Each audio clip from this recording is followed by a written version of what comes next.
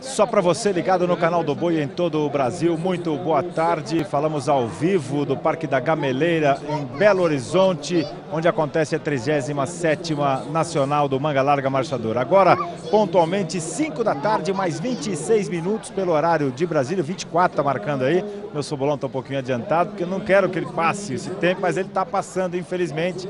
E hoje é o penúltimo dia desta fantástica exposição que reúne o melhor do Manga Larga Marchador Mundial. Estamos dentro do, da véspera da grande final que vai acontecer durante todo o dia de sábado, que nós vamos mostrar muitos detalhes. E hoje, excepcionalmente, o Agricultura BR, em função dessa importância do evento e também do final mais cedo do leilão que aconteceu da estreia da Central Pantanal Piquiri, nós teremos aqui uma programação especial, inclusive no momento que já vai sair mais um resultado na pista e mais gente vai se beneficiar com isso e fazer festa de qualquer forma. Eu estou aqui eh, reunido no, em frente ao estande da Mota Yetchepari com o SBA no Parque da Gameleira, bem no lugar VIP aqui. Nesse momento está acontecendo a prova social, a gente vai explicar um pouquinho sobre isso daqui a pouquinho. Esse aí é o nosso cenário. Estou aqui levantando a mão para você me identificar, identificar a nossa posição no parque. Eu estou com o time que faz comigo e com a Renata Marques à noite, olha aí. Garotinho já está indo para os braços uh, da sua família e dos seus amigos e parceiros já ganhou um prêmio importante. A gente vai descrever daqui a pouquinho. Estou aqui com o Fernando Melo Viana na ponta direita, na esquerda do seu vídeo. Estou do outro lado com o Jean Franco Cunha Ferreira, meu guru, que está aqui com a gente. São os integrantes do programa No Trilho da Marcha, que virá também pela internet mais tarde. Estou aqui com o doutor Ramon Toleta, falando daqui a pouquinho sobre a recuperação dos atletas e dos animais para o grande campeonato de amanhã. E estou com o árbitro uh, da Associação Brasileira dos Criadores de Cavalo, Quarto de Minas, Zé Renato está aqui com a gente, vai falar bastante sobre o que acontece na pista. Temos aqui também uma presença ilustre. O que, que você quer falar, Heleninha? Oi. Oi. Pronto, tá dando a entrevista da Heleninha aqui, dois aninhos, filha do Ramon, doutor Ramon, porque o cavalo, o cavalo manga larga marchando, o cavalo de uma maneira geral, é família. E a gente está observando isso no movimento das pessoas aqui. Ontem mais de 30 mil pessoas, hoje não vai ser diferente. E até amanhã à noite nós teremos aqui mais de 220 mil pessoas tendo passado pelo Parque Bolivar de Andrade. Boa tarde, Fernando. Muito bom tê-lo aqui. A gente está percorrendo aí os momentos finais dessa grande festa. O que está acontecendo na pista nesse momento? Eu estou invejando aqui primeiro o Ramon com essa menininha. Se eu botar o meu filho no coro, eu duvido que ele fique cinco minutos parado igual essa aqui. É, eu tô, eu tô com inveja danada. O adestramento seu tá muito melhor que o meu. O que está é acontecendo, eu já estou até emocionado, porque eu estava olhando ali a criança ganhando e o pai abraçando né, rolando no chão. Eu já tô com o olho cheio d'água, porque eu já tô imaginando meus filhos um dia podendo participar dessa prova, né? E eu acho importantíssimo agregar essas crianças que são os cavaleiros do futuro. Tem condição de fazer mais, eu acho. Tem jeito da gente botar esses amadores mais dentro da raça, eu acredito, com provas é, que agregam. Inclusive, você perguntou hoje se poderia participar do ranking. Eu acho que isso é possível, mas a gente tem que amadurecer mais essa ideia, né? O mais bonito é ver as famílias reunidas ali. Essa festa ah, acontece beleza. normalmente nos campeonatos né, em todas as etapas, aqui na Nacional mais ainda, e amanhã vai acontecer. Entre os profissionais, agora, quando montam os pais, né, os selecionadores, as filhas, os filhos, os, enfim, uh, não conta pontos, são amadores, né, em qualquer tipo de cavalo que, que eles prefiram, fica lindo demais, né, Gil? Daniel, é, eu particularmente, só interrompendo aqui, eu vou aproveitar o gancho do que o Nando acabou de falar. Eu defendo arduamente que a gente está num momento excepcional, o Mangalar Machador. Mas a gente pode melhorar. Esse, é, esse menino que ganhou e agora, essa égua não é dele. Não é dele? Quer dizer, se ele estivesse disputando um, ama, um amador, a gente poderia ter né, uma égua dele e ele disputando com o animal dele. Então acho isso que, isso que é seria mais bacana. É isso que faz e traz tanta gente aqui para o parque, né? Doutor José Renato, professor José Renato, está aqui com a gente, trabalhando arduamente na pista. Eu já falei algumas vezes aqui na nossa transmissão, não queria estar na pele de vocês, apesar de ser lindo esse trabalho e a concentração que vocês têm, a seriedade, a, o rigor que esse regulamento traz para cada categoria, cada competição, não é brincadeira. Está julgando morfologia na pista e está fazendo também análise de claudicagem. Não é simples o trabalho de vocês. Dez dias de exposição, ainda tem mais um Está chegando no final, vai se esgotando, mas vai renovando, professor, porque é, não são poucos os detalhes que vocês têm que estar atentos, né? Boa noite, prazer em tê-lo aqui com a gente. Boa noite, prazer é todo meu estar com vocês, ingressar esse time aqui. O trabalho do árbitro é um trabalho, como você disse, árduo, né? Mas ele é muito prazeroso. Julgar os melhores animais da raça, você ter contato com os melhores animais do Brasil, é muito prazeroso. E realmente na morfologia a gente tem que olhar o cavalo da ponta do casco à ponta da orelha. E você tem que ter uma visão de conjunto muito grande. Você olha um cavalo de perto, você vê detalhes, você olha o cavalo de longe, você tem aquela reunião dele com os outros animais. De maneira que é um trabalho realmente muito minucioso. E você tem que ter uma vivência muito grande com a raça, exatamente para poder é, levar o melhor animal ao pódio, né? E no final cansa. 11 dias de exposição, o a gente esforço, fica cansativo. O esforço físico ele cansa, mas o mental, que é o caso de vocês, que tem que estar com muita concentração, assim como os animais e os peões que trazem cada um animal para a pista, é muito grande. Isso exige demais, né, Zé Renato? A concentração tem que ser total. E, e eu julgo já há mais de duas décadas. A raça ela foi tomando um vulto que cada dia você tem que aumentar a sua concentração. Por quê? Porque os animais foram se tornando muito próximos Antigamente você entrava numa categoria, Fernandinho lembra disso, Fernandinho foi apto, nós entramos praticamente na mesma época. E a gente via assim, você entrava uma categoria, mesmo na nacional, você tinha um grupozinho pequeno de animais de elite, e aqueles animais do meio e os animais de fundo. Então a diferença era maior. Você não precisava de ter, de gastar tanto fosfato. Hoje, a proximidade dos animais é muito grande, você tira poucos pequenos detalhes. Então a concentração se tornou muito grande. O número de animais também. As primeiras nacionais que eu vim aqui julgar, acho que era 400, 500 animais, né? Hoje, para dar 1.500 animais, você tem que fazer uma seleção rigorosa para evitar que muitos animais venham. Nosso problema hoje é limitar a vinda. Porque eles são classificados nas etapas né, do ano hípico. Então a gente apertou a classificação nas etapas é, regionais para poder limitar se a, o Parque da Gameleira não comporta. Não é de borracha, né? É. Não é de não dá para esticar, não tem, não tem dois andares, né? É. E não tem dois pódios, né, para cada animal. Não tem dois primeiros lugares, né, Ramon? Eu queria que você falasse sobre isso, porque a gente percorreu uma parte do parque aqui hoje, principalmente. O Fernando nos indicou isso, o Jean também, estão trabalhando ativamente. E quando eles falam assim, eu tenho um animal na pista, é um animal de algum cliente, ou que eles dão consultoria, ou que eles viram nascer, e treinaram e, e cuidaram até agora, e estão classificados para a grande final de amanhã, porque passaram pelas etapas, vieram para a Gameleira e ganharam a sua categoria para amanhã disputar o grande campeonato.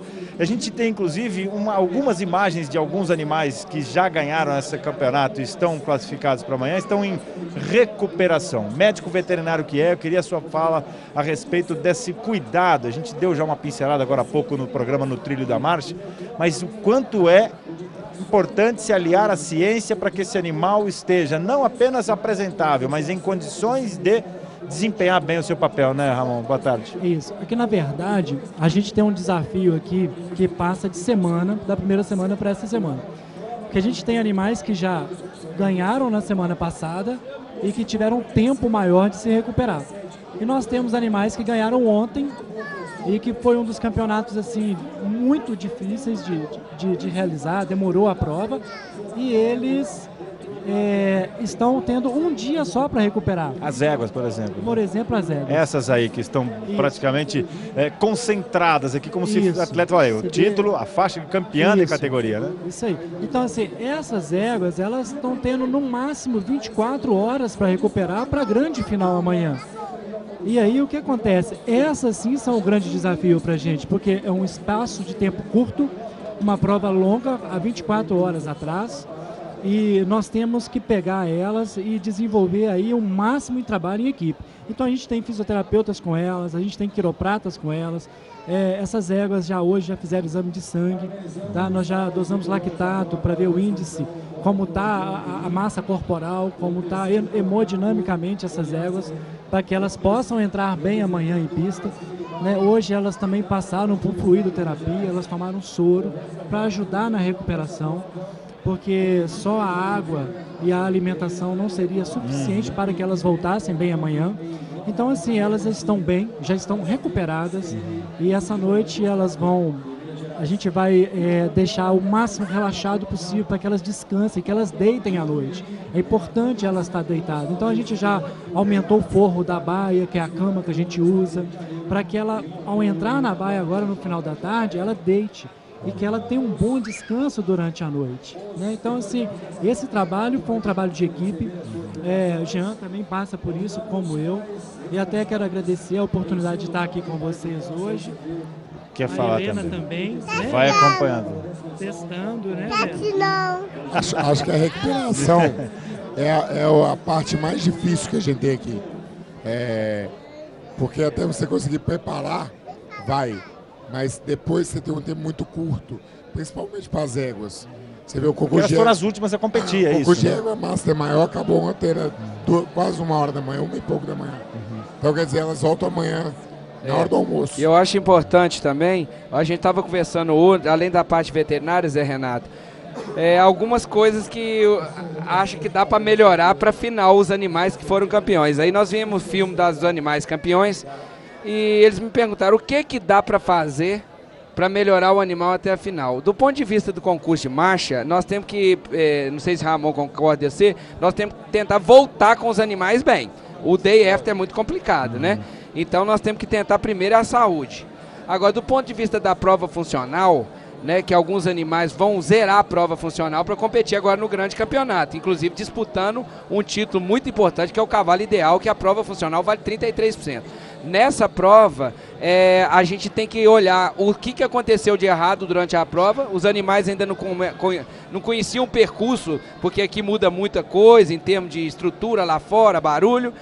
Então a maioria dos cavaleiros que eu treino, eles a gente dá uma, faz uma reunião igual fiz hoje, a gente vê os defeitos e vê o que que dá pra gente melhorar naquela prova, olhando logicamente as faltas que eles tiveram. Então na prova funcional, geralmente eu consigo uma performance bem melhor na na segunda passagem. Agora, na parte de marcha, para os animais que o Ramon e Ge- e Jean podem falar mais, mais doloridos, né, que muitos vêm mais doloridos, a, a- a parte de veterinário é de suma importância para que esse animal possa, pelo menos, né, Zé, marchar do jeito que, que eles marcharam. Agora, o mais legal, o mais importante que a gente, a gente lembrar, eu queria a sua palavra, eh, Zé Renato, é que todos esses fatores compõem a preocupação dos selecionadores, apresentadores e da equipe toda, né, de veterinários inclusive, para que os animais se apresentem bem. Agora, no regulamento vocês não têm nada disso. Independente do clima que esteja, está chovendo, do solo, do barulho, da música, da balada que foi até de madrugada, do estado do peão, do cavalo, isso não está no regulamento. Você tem que observar o que é determinado o pelo momento, regulamento. né? O julgamento sempre é de momento, então é outro julgamento. O grande campeonato da raça é um outro julgamento. Além desses fatores todos que eles falaram, eu ainda acho uma coisa importante demais de ser frisada na hora do grande campeonato, que é a calma do peão. O peão ele entra normalmente muito estressado, com responsabilidade muito grande de disputar o grande da raça. Essas coisas passam para o animal. Então a tranquilidade, a gente nota que o apresentador que é mais tarimbado, aquele que consegue entrar na pista, você olha a feição dele, o cara tá ali tranquilo, ele passa isso pro cavalo. Então, O cavalo sente mesmo, né? além dessa recuperação da musculatura, que aí a parte veterinária, além da, do treinamento, do, da, da, da prova funcional, que você realmente consegue uma segunda passada melhor do que a primeira, mas eu vejo muita importância também nesse trabalho psicológico, porque o psicológico do, do apresentador passa direto para o animal. Então, também quem tem, tiver como conversar com o apresentador, colocar ele mais tranquilo, tirar esse peso muito grande das costas, eu acho que ajuda muito nos animais. Eu Vamos- gostaria de falar só uma coisinha também para puxar um assunto com vocês é, a respeito da. Eu estou jogando morfologia, né? Morfologia dos animais jovens. E eu tive a oportunidade de jogar morfologia de animais jovens é, de marcha picada. E há muito tempo que a gente vê a, a, a, a melhoria zootécnica dos animais de marcha picada. Mas esse ano chamou a atenção.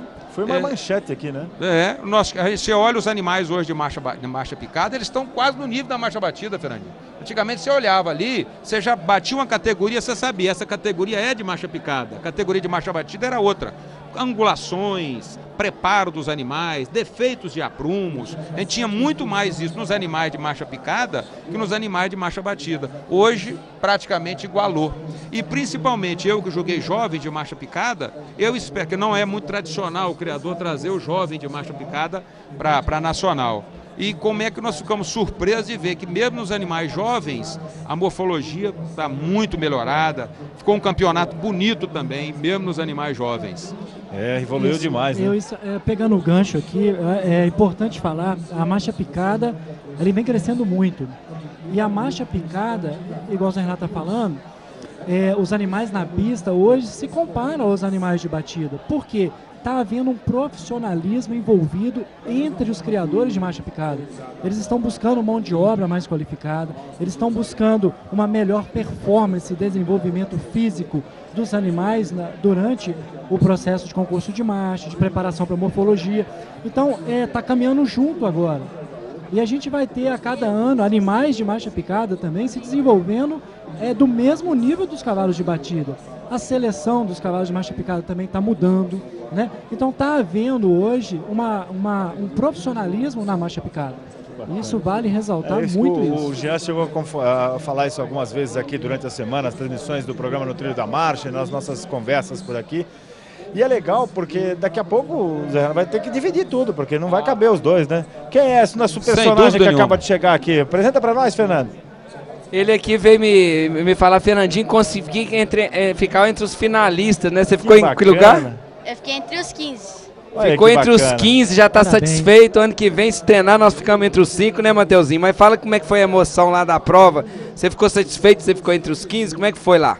Ah, eu fiquei muito satisfeito, né? Porque eu, no, eu treinei muito e foi muito gratificante participar aqui de uma prova aqui na Nacional e só com os melhores, né? Com os filhos dos grandes criadores, pessoas que podem montar muito. E é muito bom participar e pelo menos ficar entre os 15. Só de participar já é muito gratificante. Que bacana. Matheus, Agora, ano que você tem? vem, o desafio é ficar entre os 5, né? Isso, É, Renato? Vamos ter que evoluir. Quantos anos você tem, Matheus? Eu tenho 13 anos. Que bacana. Já monta bastante tempo? Não, é, ninguém da minha família gosta de cavalo, não. É mesmo? Por É. que será? Agora você tem que puxar a turma pra cá, ué. É, tô tentando, tô tentando. Parabéns. Continua treinando, que isso aí é Obrigado, caminho à viu? evolução. Obrigado, viu, Mateuzinho? Parabéns mesmo. Aí, ó, isso aí é o cavalo, né? Daqui a pouco nós vamos ter que dividir, então, marcha batida num campeonato e marcha picada no outro campeonato em outra época. De repente a gente fica aqui um mês, né, Aqui Renato? já vai dividir, né? Já vai ter mirim, vai É. ter prova social de marcha picada e prova social de marcha batida. É. E como que essa prova social rapidamente tomou um vulto enorme, né, Fernando? Prova social era uma coisa que eh, tinha até que fazer força para acontecer. E hoje não, tem que fazer força para limitar, né? Olha Uhum. quantas Tá moças estão passando aqui O atrás da gente, que nós montadas. temos hoje na- na- no parque, em Lá no função da CT prova do social. Fernandinho, através da Bárbara, que faz mais, tem curso especializado já. É impressionante. Tô aguentando falar mais. Hoje está tendo cursos lá no CTE direto, solicitação pra, não é para profissional, para melhorar a qualidade das, das Tá provas sociais. prova. A quantidade de curso que a gente faz para amador é uma coisa impressionante. Daí o interesse dessas pessoas de vir apresentar bem, mesmo nas provas eh, sociais, que deve, né, Zé Renato, deve estar aumentando, melhorando a qualidade também da montaria desse pessoal. A gente está vendo na pista, inclusive, nesse momento, uma, um grande número. Olha, isso aí é o entorno da pista. A choperia está bem aqui atrás da gente, na frente do nosso stand, na verdade, né? Do SBA da Moto Etchepare. Você viu a multidão que se aglomera aqui, é o penúltimo dia, todo mundo quer curtir os últimos momentos. E essa aí é a cena, ó. As moças montando para poder concorrer também no campeonato. Tivemos agora os rapazes, os garotos, né? E agora as moças estão desfilando com a sua, com os seus animais na prova social entre as mulheres, entre as meninas, né? Tá aí, ó. São as de meninas, né? todos os tipos. Olha que coisa linda que é de ver isso daí. Todo mundo ah, mostrando o que, que é a organização, a concentração e a idolatria a esse bicho que tem dado o que falar na nossa programação nesses últimos 11 dias. A gente vai voltar daqui a pouquinho para falar um pouco mais sobre isso. Eu quero ouvir ainda o Zé Renato a respeito, quero ouvir também o, o Ramon. Gostaria muito de ouvir o Jean, mas está difícil, só no cochicho. A gente vai ter que dar um ganho monstro aqui no microfone dele. O microfone dele não está falhando, viu, pessoal? Atenção, ele está realmente sem voz. Porque já comemorou demais. O Fernando também vai estar aqui com a gente, mas agora a gente faz uma paradinha neste Agricultura BR super especial que está falando ao vivo, direto aqui do Parque da Gameleira, sobre a 37ª Nacional do Manga Larga Marchador. Daqui a pouquinho voltaremos com a parte final do programa que retrata bem o que é esta que podemos considerar a Copa do Mundo do Manga Larga Marchador. O Agricultura volta já.